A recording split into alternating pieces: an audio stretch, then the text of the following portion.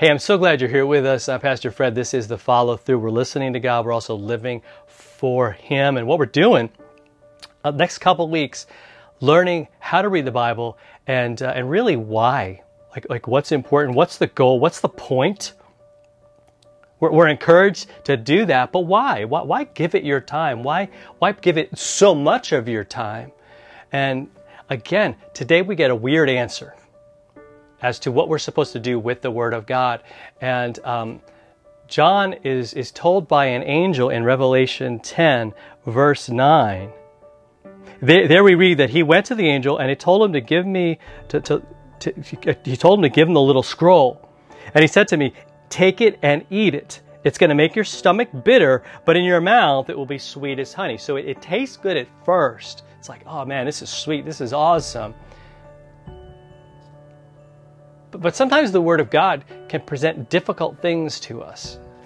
You, you know what I mean? And, and here's the point is that you look at it and you could look at something like, like I can do all things through him who strengthens me, or you know, some of the other passages. Uh, even the one we talked about yesterday, the Lord is my shepherd, I shall not want.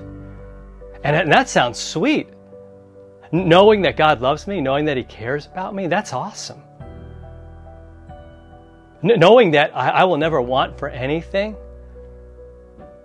See, but then I might realize that there's so many times where I, I trust in other things. Like I don't look to him as my shepherd. Because sometimes, like, and this is where it gets bitter, man. This is where it gets difficult.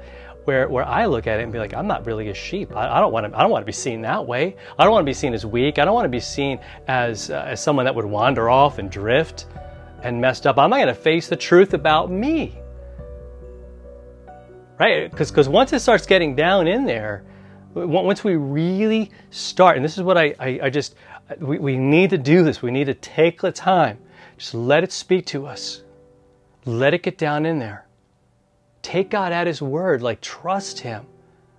Like have all of that we've been talking about all week, this longing and this excitement and rejoicing of what He gives, but realizing that, that sometimes it's going to be bad news, but even that bad news is good because God's being truthful for us. He's saying, Look, I got your diagnosis and for, for what you've been feeling all these days, all these years. But you felt the, the, the sting of death, right? You, you felt the weight of all of that. But I want you to know that, I, that, that Jesus came to die for you. So again, there's that bitterness, but, but it's also sweet. I believe that sweetness returns as we see what God has done. But, but it's going to affect us in a lot of different ways. And I want us to see that. I want us to really expect that, that that's what's going to happen. Like we shouldn't just read the Bible and be like, oh, that was nice. How, how encouraging. And, and, and maybe you, you, you forward it to somebody who needs to see that. But did you see it yourself? That's the point. did it get down deep into your soul and affect you? Did you eat the book? Did you did you chew on it? Did you swallow it? Did you say, you know what, I, w- I want this to get into my, the very fabric of my life, every part of me. I want this to be there, to know who God is, to know that He died for me. So I think when we're doing that, then it's no longer us reading the Bible; it's the Bible reading us. It's it's it's not us getting into the Bible, but the Bible getting into us, into our hearts, into our souls, into our everyday lives where we listen to Him and we live for Him. Have a great one, and we'll talk to you next time for another follow through.